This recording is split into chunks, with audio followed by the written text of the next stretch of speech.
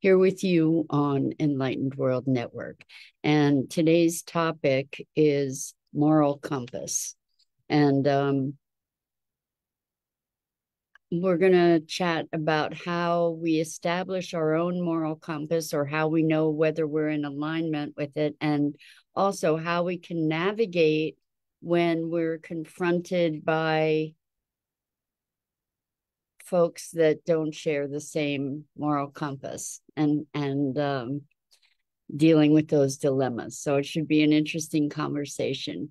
Good morning, good morning, Rosalind. Welcome. So good to have you joining us this morning, and welcome to everybody else who's joining us. Um, we are going to be talking today about moral compass. And um, before we get started, let's take a minute or two to get present. Let's take a deep breath in through your nose and hold it. And imagine clean, crisp oxygen flooding your lungs, flowing into your bloodstream, nourishing all your cells, all your organs, bringing vital life energy to your body and being. And as you exhale, exhale any tension, stress, negativity, fatigue. And now let's take another deep breath in through your nose and hold it.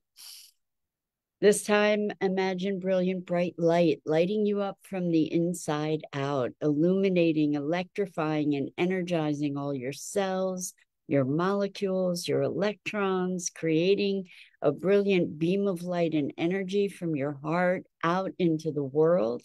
And as you exhale, exhale any remaining tension, stress, negativity, fatigue. And now let's press our palms together and vigorously rub your hands together to feel the friction, the temperature, the pressure, the motion, the tickling and tingling when you stop. And allow all those sensations to bring you present right here, right now, into this remarkable physical form that enables us to experience life. Welcome, welcome, welcome. So, moral compass. Um, I think we tend to operate from the assumption that other people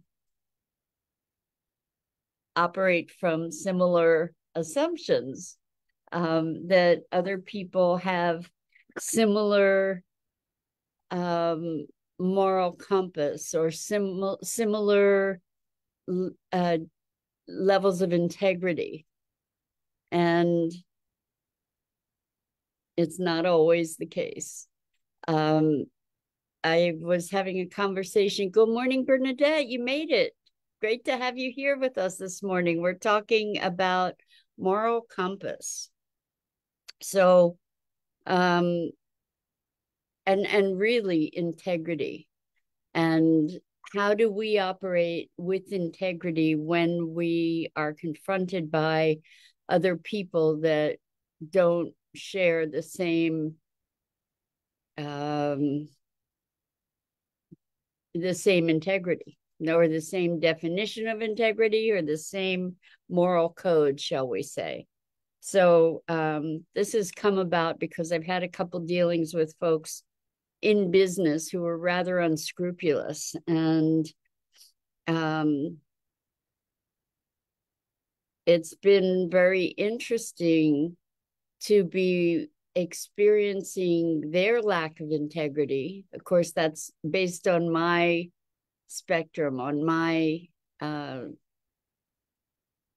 perception, um, my scale of of what is has integrity, how integrity is evidenced, or how how we live in integrity. And so it's made me be looking at myself to determine uh, how to conduct myself in the face of these challenges. So Bernadette says, our integrity comes with our views and our own journey. Yeah, so one of the definitions of integrity is wholeness. And we can also consider it integration, you know, where where we have a, a unity within ourselves, an alignment within ourselves. Um, and I guess, again, going to this notion that we tend to assume that there's a universal, you know, like this notion of an integrity.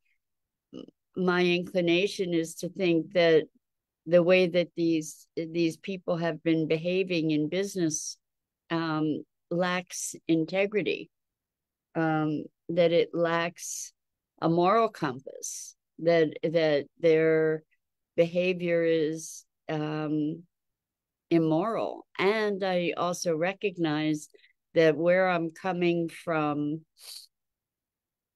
is comparing their behavior to behavior that I would evidence you know that that that um i'm i'm judging them based on my metrics.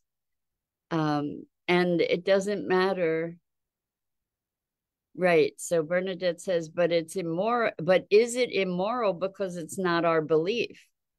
Well that's a really good question. That's a really really that is the question um and i guess according so I signed this contract. The contract has some very interesting clauses that, when you read it initially, are easy to overlook because they're written in a sort of friendly, um, in a friendly way, uh, and they're actually quite insidious clauses that um, uh, so for instance one one of the clauses is if you ask for a refund before you go through this whole complete process uh, then you lose the opportunity you, you lose the right to that refund you lose the guarantee and so what happened for me is over and over and over.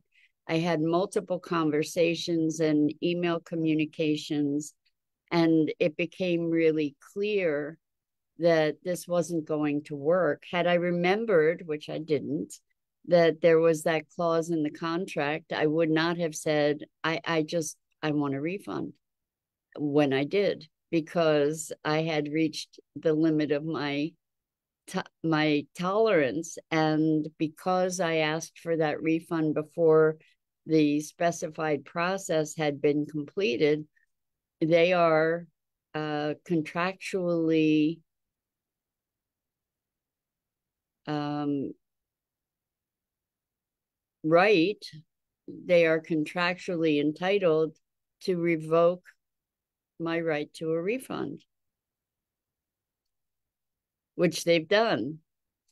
And um, I asked when that happened, I said, well, okay, so let's go back to where we were and pretend that I didn't ask for the refund and let's go through the process. And they said, no, you asked for a refund and that voided the guarantee, the, the, the, the ability to qualify for a refund. So the thing is that it was really clear that it wasn't a good fit, that it wasn't going to be a good fit, that we weren't going to get to a place of reconciliation. And um, still, they, it's kind of, they are within their legal right. So it's a gotcha clause clause. I mean, the guy that I requested the refund from could have said, hey, you might not want to do that because it'll void your guarantee. But he didn't do that. And um, I have been pursuing it to uh, to appeal to their higher nature to say, hey, this isn't a good fit. It wasn't a good fit from the beginning. And this is kind of a gotcha clause. And um, you know, do you are you willing to sort of put your money where your mouth was initially? So, um, so Bernadette says, to me, it would be a matter of what course, for example, you're taking. Would it have been a situation that may have changed your point of view?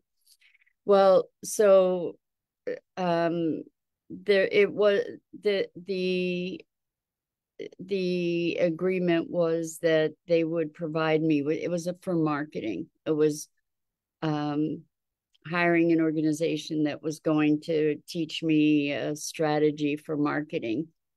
Um, and their approach to it was not an approach that i was interested in and so um, that became clear early on, and they were not in any way keeping their promise that they were going to be creating a plan that was specific to me and my needs and my business.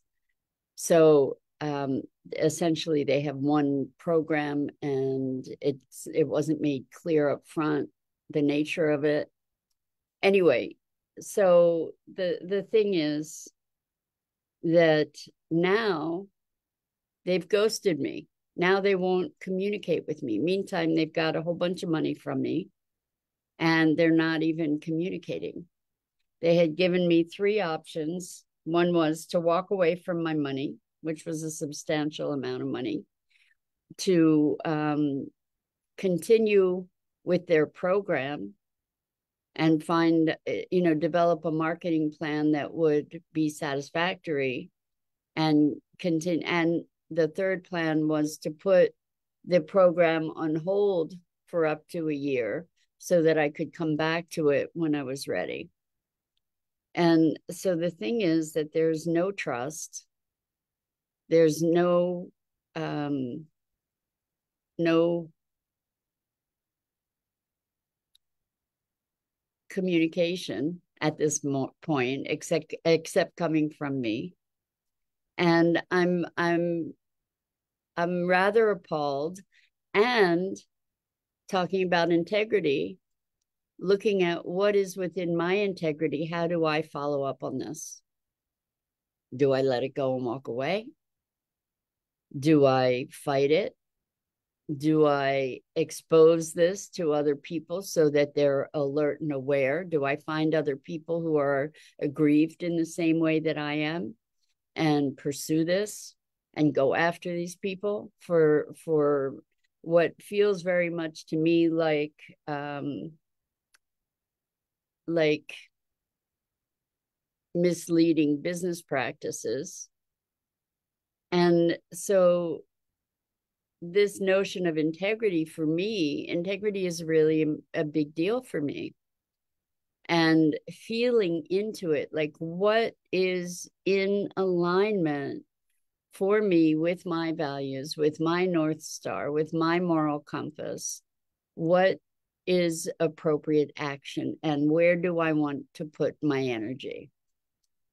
And so i don't think that i'm alone so bernadette says so almost a malpractice issue. That's what it feels like to me you know that misleading misleading business practices you know like saying oh this is we guarantee your satisfaction or we'll refund your money. And we will develop something that's specific to you that you're going to be excited with or we'll refund your money. Well that's not true. They they have built their contract in such a way that they have a whole bunch of outs uh, one and interestingly, one of the things that is in their contract if you threaten us, we can fire you. If you curse at us, we can fire you. If you if we deem you to be uncoachable, we can fire you once you've made once you've agreed to this contract. So um, Bernadette says, I'd be joining forces with others who are like minded. Yeah, so like minded in terms of having uh, been aggrieved and and who want to make others aware um, and make others aware that they need to be cautious. you know one of the things that i can do is to say is to say to them look i'm not walking away quietly. Um uh bernadette says those terms aren't defined enough.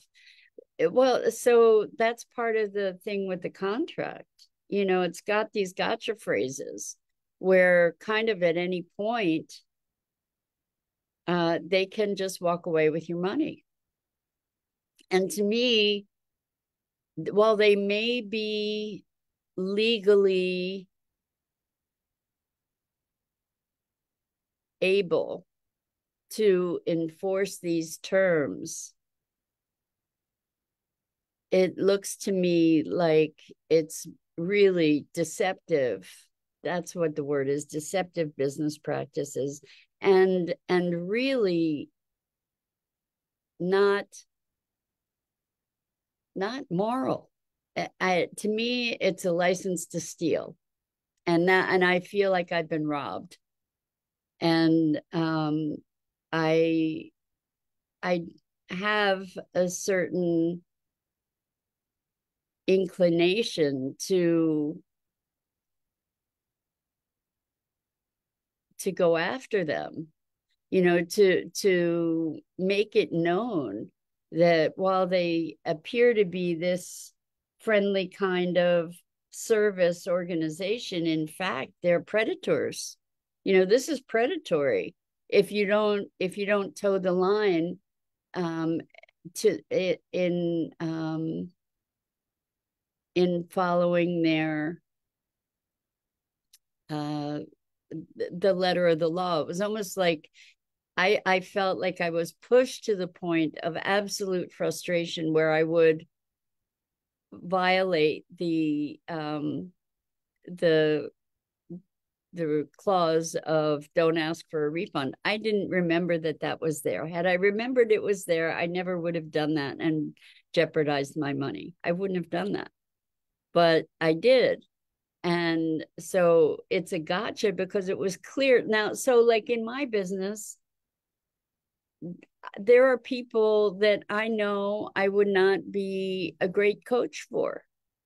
I know that it would not be a good fit and that in fact it could be detrimental to do the work that I do with people for certain people.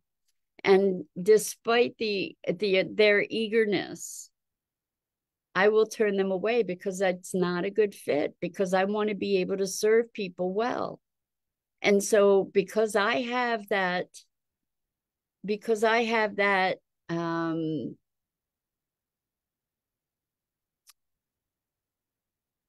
principle I assume and you know what they say about assuming um, that other people share that. Rosalind says those terms are not defined enough. Um, well, the, you know, the terms, I think that they might be defined enough to be argued in law, is the challenge, right? I'm not sure which terms you're talking about. I'm thinking the terms in the contract. Bernadette says bully mentality. They have comply with our rules or we will try to discredit you. Well, or or we will at the very least um dismiss you, right?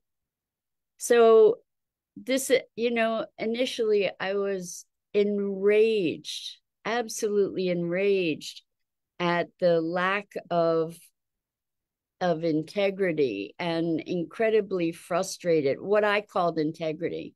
You know i call it integrity to be if you're presenting yourself as a service business to be a service business to be in service not to take advantage of loopholes that you kind of build into something and so like i have this moral outrage.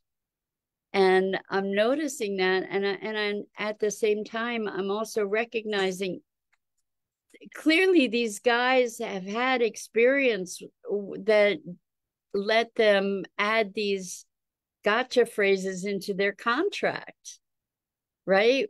Clearly they have designed this contract because they know that other people are going to are going to get really frustrated and and say that's it i'm done.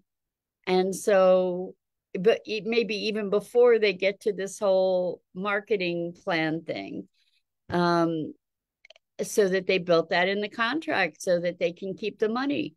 Clearly they've had people curse at them because they were so frustrated. So they built that into the contract clearly they've had people threaten them because they built that into the contract.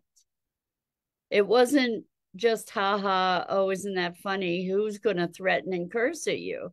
They push people to the point to do that, which is crazy. You know, these things that you don't, I didn't see, I didn't take seriously, I didn't question when I saw these things in the contract. You know, like if you curse at us, if you threaten us, and it's like, well, why would that be in the contract specifically? If you're not coachable, meaning if you don't do what we tell you to do, all these gotchas that are masked uh, or masquerading, maybe not, maybe they're not masquerading, they're right there in the open you know but but in the context of a contract that looks really congenial and and friendly. Like why would anybody threaten somebody? Why would anybody curse at you? Unless you're creating a situation that drives people to the brink of their sanity so uh, Bernadette says, sorry, have to go. So happy to have finally connected. Have a fantastic day, everyone. Bernadette, so good that you connected. And thanks for participating. Have a wonderful day.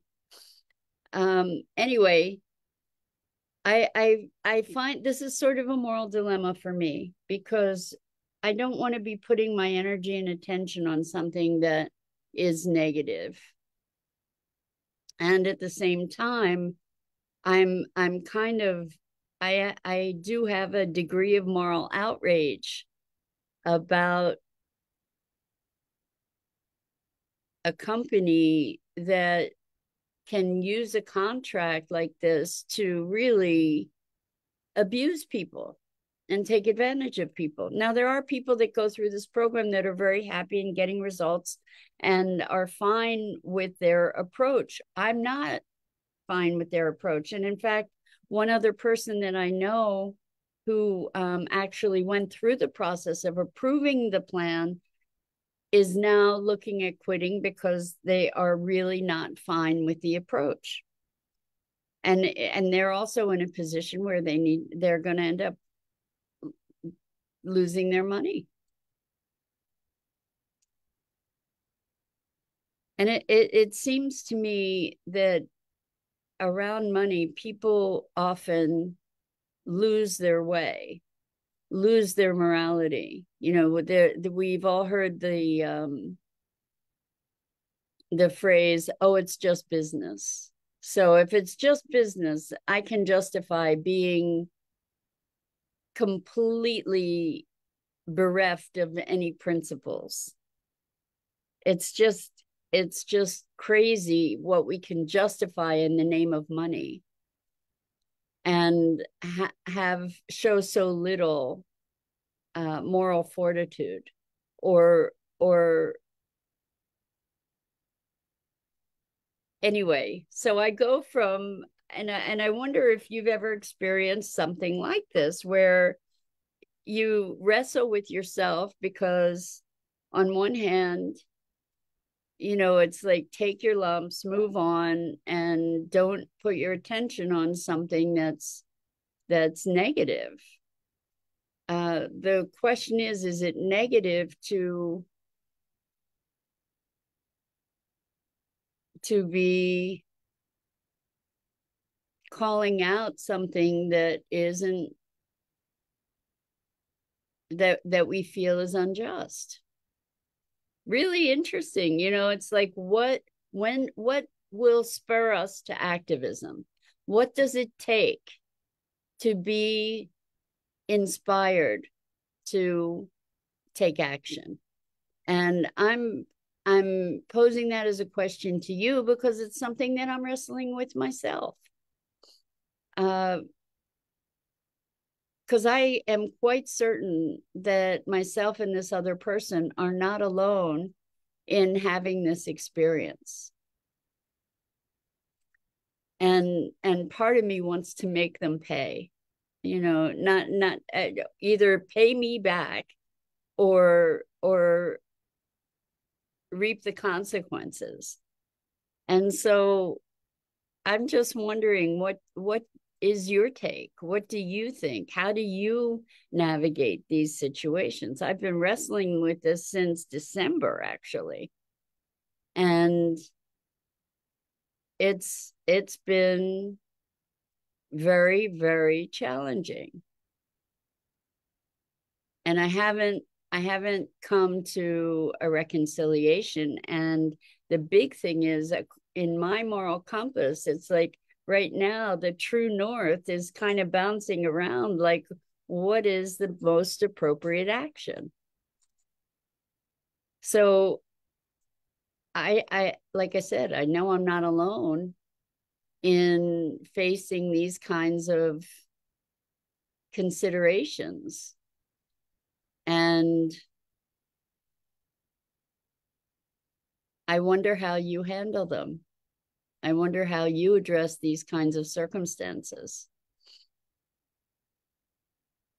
And how how you convert it for yourself in some way or another to a a lesson, something that we can use, something that we can create as as a positive, as a contribution to ourselves and in our lives because that that's really what I'm looking at very much too is what can I learn from this besides reading between the lines of a contract, not just reading the contract, but reading between the lines. Rosalind says seeking fulfillment elsewhere, walk away is one option. The other is to go down the path to challenge them in the legal setting. Well, legally, I can't really challenge them. I can challenge them in the court of public opinion. So a friend of mine suggested uh, sending a tip to the New York Times so that they could do an expose kind of story on them. Uh, because I guarantee you that this isn't the only company that has shady sorts of operations in this way. Um, so yeah, it's it's an interesting, interesting path, and and definitely walking away is one option. I am not willing to walk away until I feel complete. And I don't know what that looks like. It might be something internal, it might be something having to do with action with them. I, I'm not really sure. Yeah, an expose. So, anyway, that's it for today. I'm sharing my moral dilemmas so that we can all look at those things that challenge us in our lives together. So, until next time. I'm Mira Rubin. This is the Core Connection. I go live here each weekday morning at 9 a.m. Eastern on the Enlightened World Network Facebook page and YouTube channel. And I so appreciate you and the opportunity to uh, find our way meandering through uh, the challenges and um, and opportunities of life. So until next time, so much love to you.